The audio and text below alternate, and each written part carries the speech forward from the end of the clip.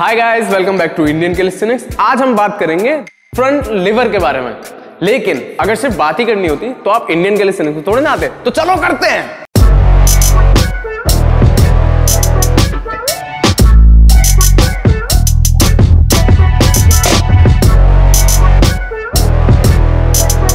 तो इस मूव का नाम है फ्रंट लेवर ये कुछ इस तरीके से दिखता है और बहुत ही इजी सा ये मूव है। एकदम आप प्योर बिगिनर भी हो तो आपको मुश्किल से मुश्किल चार से पाँच महीने लगेंगे इस मूव को हासिल करने में। सो लेट्स गेट स्टार्टेड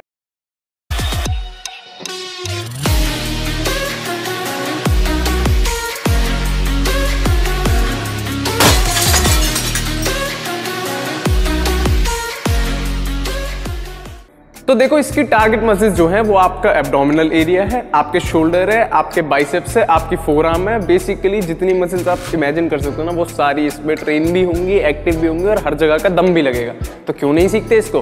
पहला स्टेप आपको सिंपली एक बार चाहिए। ट्राई करो लो लेवल एक बार मिल जाए, ताकि आप इजीली कर पाओ। या आपका पार्क का झूला हो सकता है, आपके जिम का कोई बार हो सकता है मतलब कोई भी चीज़, वो आप अपने हिसाब से ढूंढ सकते हो। इस तरीके से आपको अपनी ग्रिप रखनी है। ग्रिप आप कैसे भी रख सकते हो। आप शोल्डर विद रखो शोल्डर से थोड़ा बाहर रखो अंदर रखो। सबकी अलग अलग पर्सनल प्रेफरेंसेज हैं so try what works out the best for you सबसे पहले आपको करना है the skin the cat tuck and hold ये कैसे होता है? आपको सिंपली इस तरीके से टक करना है और यहाँ पे होल्ड करना है।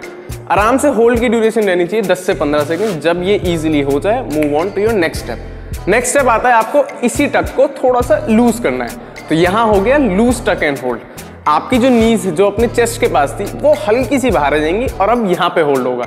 इस होल्ड की ड्यूरेशन भी रहेगी 10 से 15 सेकंड जैसे इससे कंफर्टेबल हो जाओ move on to your next step next step आता है आपका कि आपने जो लूज टक करा हुआ था, उस लूज टक पे आप एक पैर को सीधा करने की कोशिश करोगे। स्टार्टिंग में हो सकता है आप ना कर पाओ, जैसे ही पैर सीधा करो, आप नीचे आ जाओ, कोई दिक्कत नहीं है। धीरे धीरे प्रैक्टिस करोगे और यहाँ तक पहुँच जाओगे। तो एक पैर सीधा होल्ड एक पैर वापस, फिर दूसरा पैर सीधा होल्ड एंड देन वो वाला पैर वापस। Simple now move on to your next step अब पिछले स्टेप में आप सीख के आए हो कि आपको एक पैर सीधा करना था, एक पैर टक करना था और वहाँ पे आप होल्ड कर पा रहे थे। उस होल्ड की ड्यूरेशन 10 से 15 सेकंड तक आप पहुँचे थे। पहुँचे थे, नहीं पहुँचे थे? तो अब उसके बाद जब आप करोगे तो आपको क्या करना है? फ्रंट लिवर अटेम्प्ट करना है, लेकिन ऊपर नहीं। ऊपर तो बहुत डिफ़िकल्ट हो जाएगा भाई। अभी आपको नीचे अटेम्प्ट करना है। बेसिकली आपको जो प्रैक्टिस करनी है, आपको मसल मेमोरी में ये डालना है कि भाई मैं अपनी बॉडी सीधी करके भी होल्ड कर सकता हूँ। वो किस तरह से होगा? आप इस तरीके से होल्ड करोगे। सिंपल।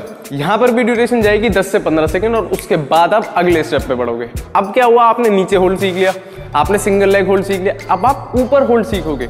ऊपर होल्ड कैसे? आप लेग रेस मार के इस तरीके से बाहर के ऊपर चले जाओ। इस तरीके से पूरी बॉडी सीधी रखो एंड वहाँ पे होल्ड करो। फील लो आपकी कौन कौन सी मसल्स यूज़ हो रही है। अब उसको धीरे धीरे नीचे लाने की कोशिश करो। आपको पूरी फील लेनी है कि भाई फ्रंट लीवर जब मैं एक्चुअली में करूँगा तो कहाँ कहाँ से दम लगाना पड़ेगा मुझे? नहीं तो कई बार होता है कि आप ऐसे करते हो, आपको पता ही नहीं कि मैं स्ट्रेंथ लगाऊँ तो लगाऊँ कहाँ से? वो होल्ड जो अटेन करना है मुझे, वो कैसे अटेन होगा, यही नहीं समझ में आता।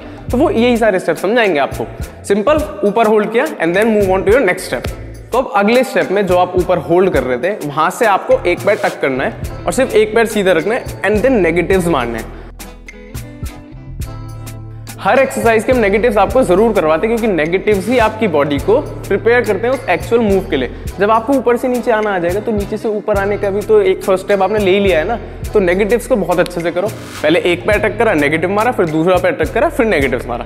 बीच में होल्ड करने की कोशिश करो, हो जाए वेलन को ना हो कोई दिक्कत नहीं, उसके लिए आपका अगला स्टेप है। अब आपने ऊपर से नीचे आने का नेगेटिव सीखा। अब नीचे से ऊपर आने का सीखोगे। नीचे से ऊपर कैसे? एक पैर से ही करो। दो पैर हो गए तो आपका बॉडी वेट बढ़ गया। एक तरह से जो आपको ऊपर लेके जाना है बॉडी सीधी रख के तो वो हो गया डिफ़िकल्ट तो यहाँ पर भी आप एक पैर रखोगे। एक पैर से कोशिश करो 90 डिग्री तक आने की। आ जाओगे। पता है इतनी स्ट्रेंथ है आप लोगों में। इंडियन कैलिस्थेनिक की सारी चीज़ें फॉलो करते आ रहे हो, उतनी स्ट्रेंथ हंड्रेड परसेंट है आप में। ट्राई करो होल्ड करो, नहीं होता कोई दिक्कत नहीं सपोर्ट ऐड करो। आप चाहो तो यहाँ पर रेजिस्टेंट बैंड भी यूज़ कर सकते हो, लेकिन रेजिस्टेंट बैंड मैं पर्सनली सजेस्ट नहीं करूँगा। क्यों? पैसे खर्च करने बिना बात। सामने इसे पकड़ के ले आओ। करवाओ सपोर्ट क्या दिक्कत है? किसी को भी पकड़ लो कोई दिक्कत नहीं, वेदांत पकड़ लो, प्रथम पकड़ लो, ले जाओ, इन्हें यहाँ से उठा के ले जाओ, कोई दिक्कत ही नहीं है। इंस्टाग्राम पे मैसेज करो, मैं इनका घर का एड्रेस दूँगा, उठा के ले जाओ इन्हें। सपोर्ट देंगे आपको आगे फ्रंट लीवर में, बाकायदा पूरे अच्छे से। तो अब गेस करो नेक्स्ट स्टेप क्या होगा। आप नीचे से ऊपर आना सीख चुके हो, आप ऊपर से नीचे आना सीख चुके हो, आप सिंगल लेग पे होल्ड सीख चुके हो, आपने सारी चीज़ें सीख ली हैं। तो अब नेक्स्ट स्टेप है आपका the front lever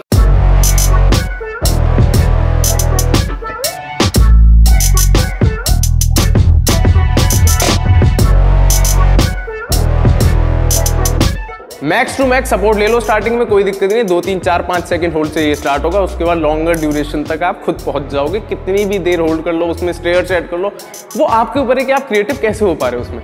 basically front level यहाँ पे आप सीख चुके हो।